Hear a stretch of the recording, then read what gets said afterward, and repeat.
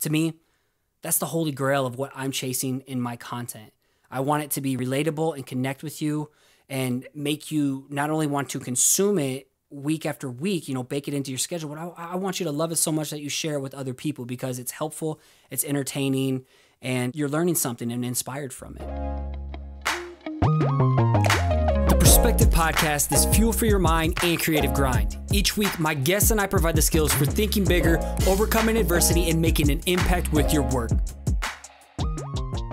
What's going on? You're listening to episode 192 of the Perspective Podcast. I'm your host, Scotty Russell of Perspective Collective, and my mission is to help you grow a fulfilling, profitable, and sustainable creative side hustle. At the end of each episode, I plug a listener of the week, so stick around to figure out how you can get a permanent shout out on a future episode. Hold on to your buttery biscuits as I have three big pieces of news to run through quickly. Number one, I'm unleashing the Engage Community Building Blueprint video course January 13th through the 22nd. And this is going to be available if you're hearing it later over at engagecommunitycourse.com. This is seven modules and 40 plus lessons loaded, absolutely loaded like a baked potato with actionable tips, worksheets, reference examples, and more. Consider this your step by step roadmap for finding your creative pulse, getting the right people to care about your work building your community hub, boosting engagement, promoting yourself, selling, and so much more. I'll also have some killer bonuses like one being a free month of group coaching worth $997 for those who jump on this early. Got a ton of other things I'm baking into this as well.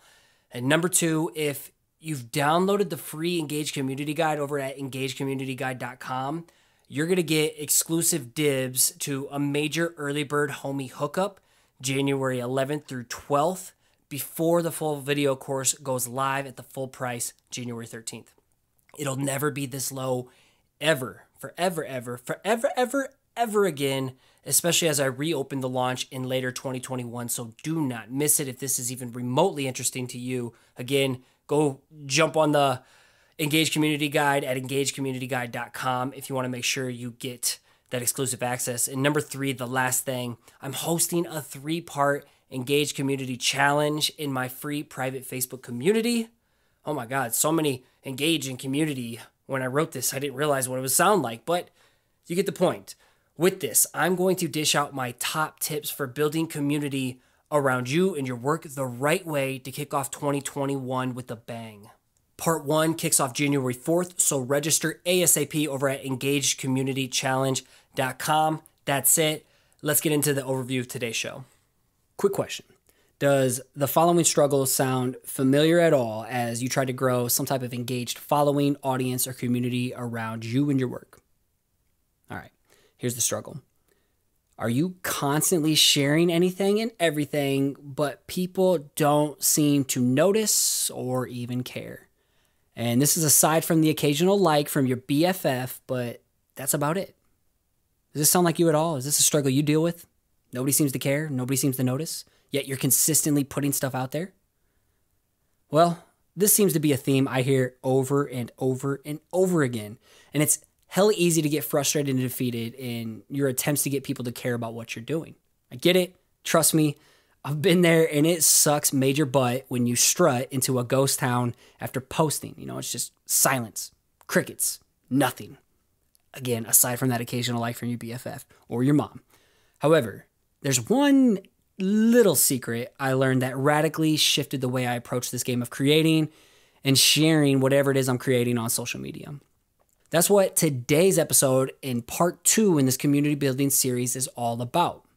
Embracing this secret and leveraging the three buckets of value to start getting people to care about what you're doing. Before we get started, today's episode is brought to you by our family at Garm Company.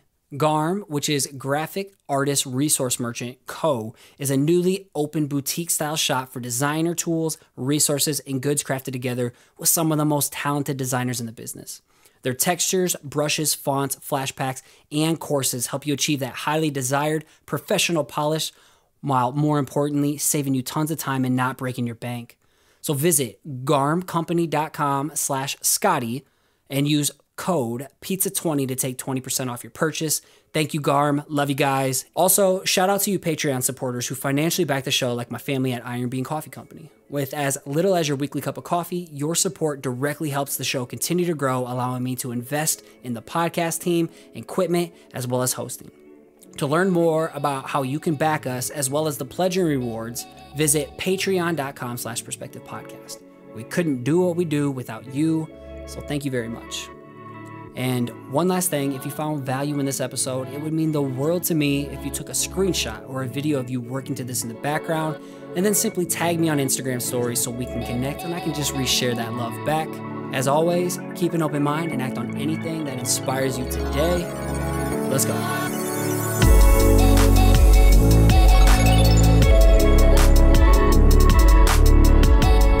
Starting off, we're going to cover the secret to getting people to care about your work. Stick with me as I'm challenging you today to turn off your creativity switch and then flip on your marketing switch. So, here's a secret to getting people to care about you and your work. Are you ready? You listening? get your notes ready? This one's pretty simple, so obvious, so common sense, but yet people drop the ball on this all the time because they're selfish. So, a great way to get people to care about what you're doing is to simply first show that you care about them. Let me reiterate this in a form of a question. Why should anyone give two shits about you when you don't show that you give two shits about them? Give someone a reason to care. Back to the, the whole focus and the theme of giving from last week's episode. So, give someone a reason to care by giving them something. This is huge if you want to create an engaged community of super fans who like, know, and trust you and want to buy your shit and share everything you put out there with someone else in their following. And once you embrace and accept this, you can get back to the basics and create with intention and post with a purpose, as my student Marvin likes to say. So, yes, it's important to know who your work is for and how to attract them. I'll go deeper on this next week once we close out part three of this series. But for now, let's focus on the important part of the formula of why should anyone care and what's in it for them. In a noisy, oversaturated world of social media, it's more important than ever to be intentional about what you do and know what's in it for the person engaging on the other side. And this is going to help you strike a nerve with one person over time to build up your army of fans and build that collective community. All right, let's talk about the three buckets of value now that you know the secret's out of the bag, all right? The secret's out. Put it to use, spread the word, share it with someone else who's also struggling to get people to care. You know, pass this shit on, pass it on. Okay, three buckets of value. If you're a listener of this show, I've talked about this before, but never like this in depth and never as in depth as I'm going to be going into uh, in the engaged community building blueprint video course. I'm going super in depth about this topic. So, how the hell do you show people you care in order to get them to care about you? I say give someone a reason to care, give them value, but what the hell does that mean? Let me break this down into a simple, actionable strategy for you. And I heard a rendition of this concept years ago. I honestly cannot remember where I heard it from. Otherwise, you know me, I would give them credit. But I've since put my own spin to it. All right, my own little unique thumbprint to this concept. And I call this operating within the three buckets of value.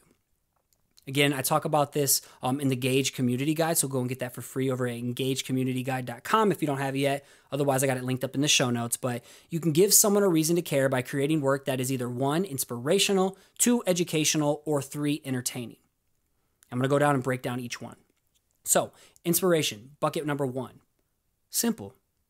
Share a message or a story that inspires someone to take some form of action or makes them feel some type of way you know, motivated, excited, determined, driven, hungry. For example, you could tell some type of vulnerable, transformational story of how you turned a negative situation into a positive outcome. Include how you did it to give your audience hope, as well as action steps that they can do something similar. And for me, this is easily, by far, ever since I got started over six years ago, this is the biggest bucket I'm a player in before I even knew this was a bucket to be a player in. I was playing the game before I knew it was a game. I I realize motivational based things are what fuels me. You know, the Tony Robbins of the world, the Zig Ziglars, the Gary V's. These dudes pump me up. They get me fired up and they speak to me and speak to my old self who was just like lost and a negative dude who just didn't want to listen or felt like there was any hope for me. So these guys reached me and helped me get back on my feet. So naturally, I'm inclined to create the type of stuff that helps me push to the next level. So I share what my old past self needed, which is attracting similar people to my past self who also feed off that inspiration bucket. They want to be motivated and feel some type of way to start taking massive, uncomfortable action within their lives and their creative pursuits. So the inspirational bucket. Number two, educational bucket. Again, super simple, common sense. Teach someone something new or helpful. For example, me writing an episode on tips on how to get people to care more and engage with your work. Like I would say this episode is very educational. And I'm also going to sprinkle in maybe an, uh, an inspirational story or two. I, I don't know. But you get my point, right? I'm trying to teach you something that maybe you didn't know that you now can apply to progress and see growth within your own pursuits. And this is a bucket I've really put more focus on in over the last, I would say, two years for sure. Uh, back when I started like talking about breaking down how I do what I do within my side hustle time management, project management, overcoming the inner struggles or sharing my process, teaching what I know. You know, I really started doing this within the last two or three years, but since I started coaching, actually more in 2020, I've like hyper focused on how to do this, you know, teach what I know. And to me, this really seems to resonate with people and continues to grow a community around what I'm doing. And within this community, it's like minded people who are now taking what I teach them and then passing it on to someone else and building their own communities. And this this seems to be the sweet spot of what I'm passionate about, what I'm good at and experienced in, and there's a need for it. All right. To me, that's the sweet spot. And the third bucket is entertaining, something that brings entertainment to someone in the form of providing an escape that can be oddly satisfying. It could be hilarious as fuck. I have AF in my notes. It can create suspense. It can scare someone. It can pique someone's curiosity. For example, think of all those viral videos on TikTok of people doing pranks or dancing or just like fails. Because if you're like me, who doesn't like laughing at people who fall? Like in the past, me and Emily, my wife, would literally Google or literally YouTube people falling. And we would just laugh, have a good old grand old time just making fun of people. from the sense of just watching videos. I'm not out here in life just making fun of people. That's that's not my that's not my vibe. So think to yourself, why do you watch any type of specific movies, TV shows, or YouTube channels? Is it to be entertained? I mean, maybe you're being educated on these things, or maybe you're being inspired. And I would say most of the time you're looking to be entertained when you're consuming things. And why I ask this because I want you to understand why you consume these things and begin to connect the dots to what you can bring to the table that could provide that same effect to someone else within these buckets that you're operating in. And here's a bonus. Here's a bonus takeaway. This is where true mastery comes into play, I feel, when it comes to creating super fans over time. And I'm referring to those who just can't get enough of your content. They share it with their following. They have alarms set to buy your latest release on whatever it is you're selling. All right. Those are super fans. Those are hardcore connected community members. And the holy grail of content, in my opinion, is when you can combine all three buckets inspirational, educational, and entertaining into the work you're creating.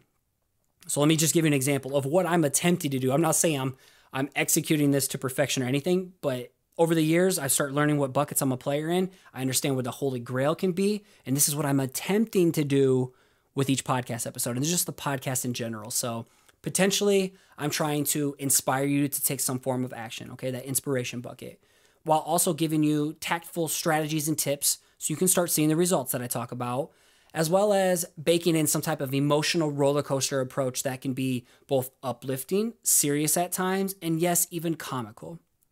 All right, that's that entertainment factor. So, inspiration, education, and entertainment. To me, that's the holy grail of what I'm chasing in my content. I want it to be relatable and connect with you and make you not only want to consume it week after week, you know, bake it into your schedule, but I, I want you to love it so much that you share it with other people because it's helpful, it's entertaining, and um, you're you're learning something and inspired from it. At the same time, I don't want you to feel overwhelmed with the pressure of trying to hit a grand slam holy grail from the jump by creating within these buckets. I'm just I'm just planting some seeds here, Johnny Appleseed over here. So please make shit easy on yourself and just just start slow, slow and steady. Be that tortoise, win a race, It's a marathon. All right. Tortoise winning a marathon. So pick one bucket. That's my action item to you. Uh, I got another one here in a second, but pick one bucket that naturally aligns with who you are at your core and just start going deep. So here's an ongoing little challenge for you moving forward. Start studying and understanding what buckets people are thriving in and why it works for their specific audience. Okay, you know my buckets. I've broken down what I'm a player in and how I apply them. Now, pick a bucket for yourself and start applying this to your own method of madness within your creative work. And one more final thing I want to drill home with you before you share anything now, before you share anything, be intentional about what bucket it falls into and be able to answer the following question Why should someone care about this? Why should someone uh, give two shits about this post or this content that I'm producing and what value does it provide them? When you focus on these things about being intentional and keeping in mind why anyone should care, good shit is gonna happen over time. Trust me with this. Trust me, trust me, trust me, people will begin to care.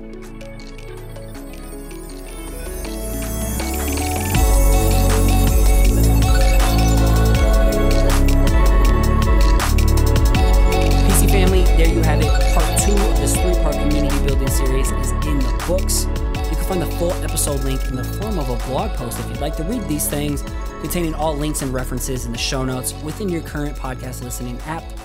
I really hope you're finding some actionable golden nuggets baked within this uh, episode one and episode two in this series. Stay tuned.